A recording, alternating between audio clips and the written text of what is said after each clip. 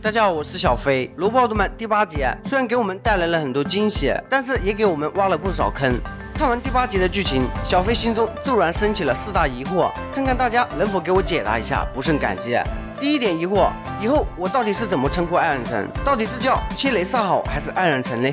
看了大半部的罗布奥特曼，你现在告诉我，艾尔城并非真正的艾尔城，而是被一个外来宇宙的生物黑雾切雷萨附身后的状态。而且这一附身就是十五年，也就是说，艾尔城只不过是切雷萨的一个载体，这叫艾尔城情何以堪？想一想，之前那个风趣幽默的艾尔城，竟是这么一团黑雾，真的让人尴尬。你说我以后到底是称他为艾尔城，还是切雷萨嘞？第二个疑惑，火海两兄弟的妈妈臭灵拿走的变身陀螺，到底是如何落到两个儿子手中的？如果大家对罗布 TV 第一集还有印象的话，一定知道火海两兄弟当时面对怪兽格尔吉欧的攻击，莫名其妙的就进入了一个异次元空间，两人在里面莫名其妙的就得到了罗布奥特曼的力量，以及用于变身的陀螺仪，还有两枚水晶。但在第八集的剧情中，暗神阐述到，当时变身陀螺是被他们的妈妈臭灵给偷偷的拿走了，而且从此人间蒸。发，那么这其中又是如何从妈妈的手上转展到了火海两兄弟的手上？难不成那个异空间 是他们妈妈臭灵开启的吗？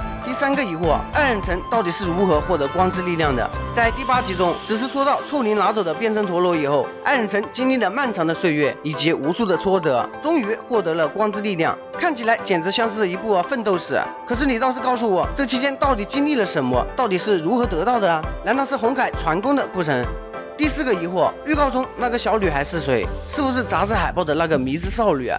从预告来看，艾尔森似乎进入了回忆画面，而他将一个暗黑欧布的人偶给了一个小女孩，而这个小女孩莫非就是在杂志海报上出现的迷之少女？据说她将代替艾尔森成为下一任的反派 BOSS 啊！大家觉得有这个可能吗？以上四个疑惑，大家怎么看呢？好了，本期视频就到这里，感谢大家的观看，欢迎各位留言、转发、关注啊！咱们下一期再见，拜拜。